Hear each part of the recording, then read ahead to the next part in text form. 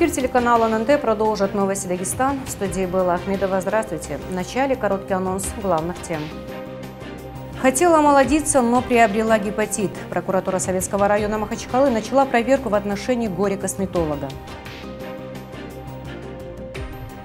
Одно строят, другое разрушают. Строительная компания, по чьей вине жильцы остались без стены своего дома, пообещала возместить ущерб.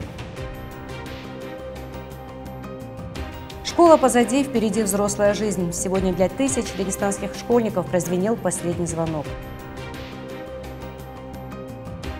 Запрет на ношение никаба. Могут ли его ввести на территории России и при каких условиях это возможно? Подробности в рубрике «Дайджест».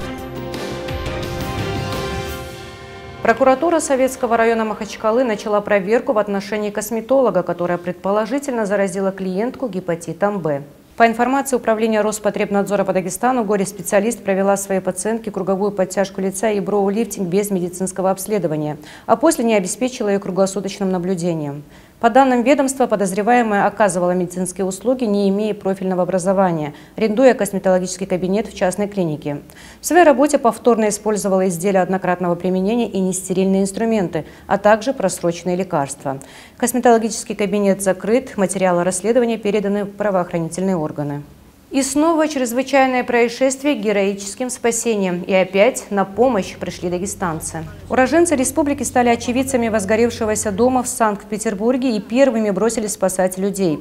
Они своими силами до приезда спасателей МЧС начали тушить огонь и вызволили из горящего плена одного из пострадавших. В результате пожара пожилая женщина и двое мужчин госпитализированы в больницу в тяжелом состоянии, а около 40 человек были эвакуированы из многоквартирного дома. Начали, думали, ломать, вытаскивать. В итоге не смогли там открыть еще лом, не лом. Ломом открыли дверь, весь огонь на нас пошел. И кто там, все соседи, ребята там были, кто мог, что мог там водой. С второго этажа воду таскали, пытались тушить. Там даже полотенцем мокрыми. Тем временем жильцам дома на Малыгина, где обрушилась стена, пообещали восстановить повреждения и компенсировать ущерб. Капитал Инвест Строй, по чьей вине пострадали два жилых помещения, остановила строительство возле частных домов. Об этом стало известно в ходе встречи специалистов Управления архитектуры и градостроительства Махачкалы с представителями компании.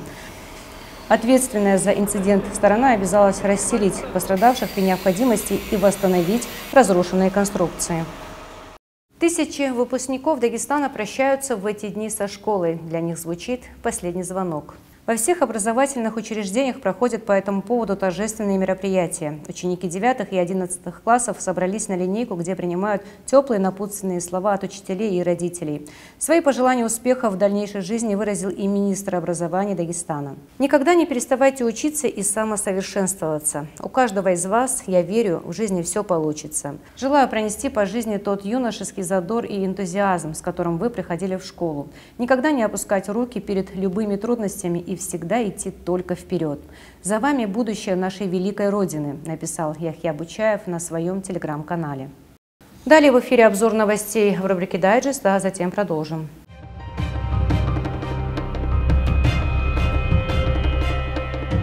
Жительница Дагестана осуждена за поддельный диплом. Правда, сама подозреваемая была не в курсе этого. Как выяснилось, аттестат был куплен отцом без ведома девушки. В 2018 году она окончила школу, сдала ЕГЭ по базовым предметам и не планировала поступать в ВУЗ. Отец тайно купил диплом колледжа и заставил ее поступить в ДГУ. На четвертом курсе у кафедры полиции возникли вопросы. Доказать свою непричастность к афере девушка смогла только после пересмотра дела в Москве.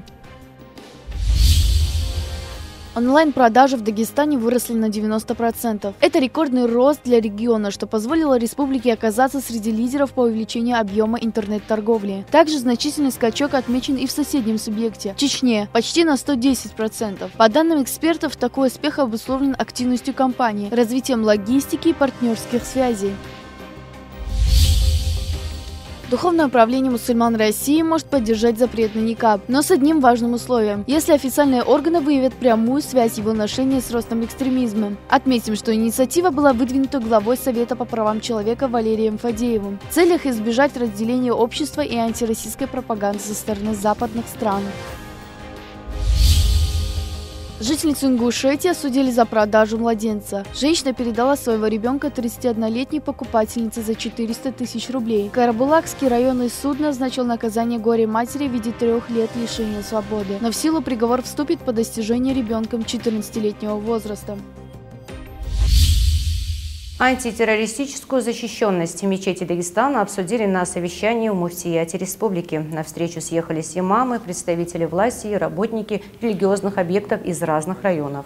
Сотрудники Министерства по национальной политике Дагестана проинформировали работников духовенства о процедуре подтверждения безопасности объектов. Наличие паспорта антитеррористической защищенности у мечети – это один из пунктов, в котором Муфтиат Республики строго соблюдает букву закона. Вот сейчас я находился э, в организации ЦУР, Центр управления с регионом. Э, там вместе с э, заместителем руководителя департамента президента Российской Федерации Алмазом Равильевичем нам показывали, какую работу они проводят. И вот, выходя, руководитель э, нам сказал, что вот Муфтият, э, в религиозной организации Муфтият нам проводит большую работу, поддержку направлений противодействия экстремизма, терроризма. Газета «Ассалам» организовала праздник для дагестанских врачей. На мероприятии присутствовали представители Муфтията Республики, благотворительного фонда «Инсан» и медики. Не забывайте, что вы, уважаемые медики, вы можете превратить ваш кабинет в место, вы можете превратить в мечеть. Так, чтобы каждое ваше движение руки записывалось вам как вознаграждение.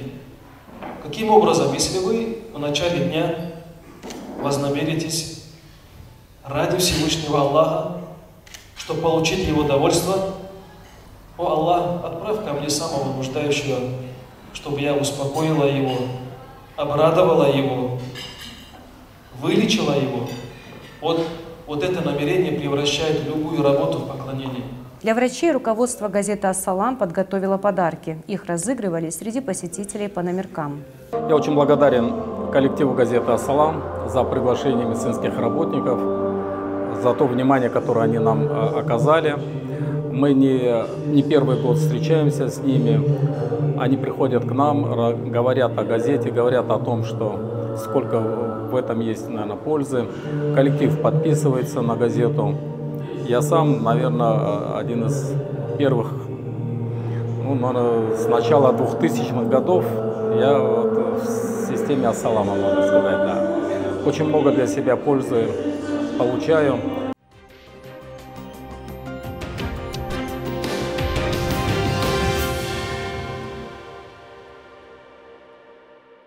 Махачкале дан старт новому сезону мини-футбольного чемпионата Шамильского района. Награды и денежные премии 10-го юбилейного турнира оспаривают 16 команд-участниц. Один из игровых дней посетили и мои коллеги. Слово Курбану Рагимову.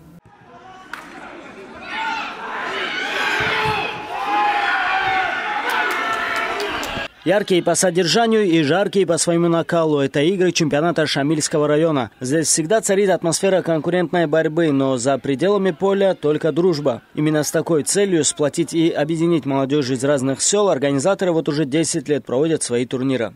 В этом году этот сезон у нас является юбилейным, что нас самих руководителей организаторов турнира дополнительно мотивирует, дабы провести его скажем так, на высшем уровне, э, на максимальных своих возможностях.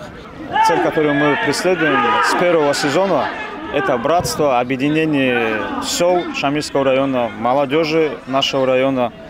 Э, благодаря этому чемпионату на своем личном опыте могу сказать, что узнал многих людей, всего участвуют 16 команд. Игры в формате 6 на 6 проходят регулярно, каждые две недели на одном из полей в центре столицы. Матчи обслуживают арбитры республиканской категории, есть прямая трансляция. В плане э, накала страстей, в плане того, как проходят игры зажигательно, так, в такой борьбе скажем так, никто, никто даже здесь сказал второй, третий тур, никто друг другу не хотят уже уступать, да, впереди, казалось бы, еще целый сезон.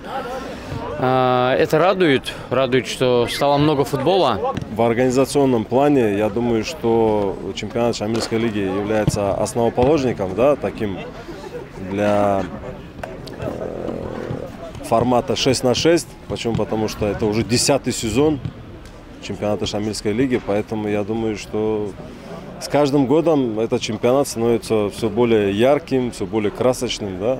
В центральном матче тура сошлись команды сел Кахиба и Урады. Действующие чемпионы лиги в бирюзовых футболках владели в этой игре инициативой, но футболисты в красной форме сумели сохранить свои ворота в неприкосновенности и реализовали свои моменты 2-0.